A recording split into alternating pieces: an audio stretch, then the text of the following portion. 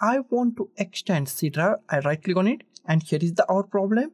Extend volume option is gray out. This is the our problem and here is the my D drive. It's contain 400 GB approximately 400 GB space and here is the C drive. It's contain only 100 GB space. I go to the this PC and here we find C drive 105 GB space and here we find approximately 393 GB space okay?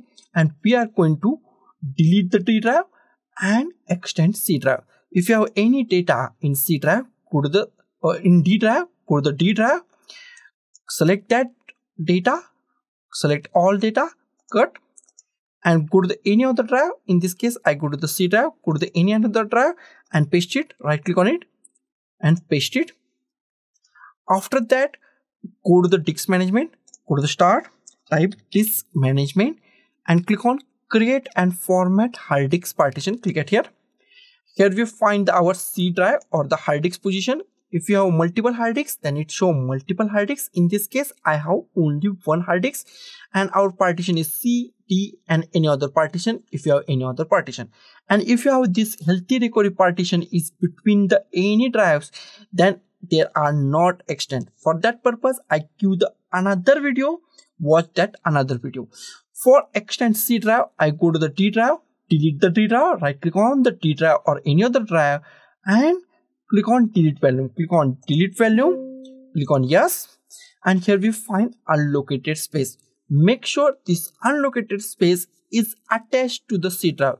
If this space is at this point and any other drive is between them then this is not work for you. After that go to the c drive right click on the c drive and here we find our problem is solved extend volume is now showing. Click at here. Click on the next.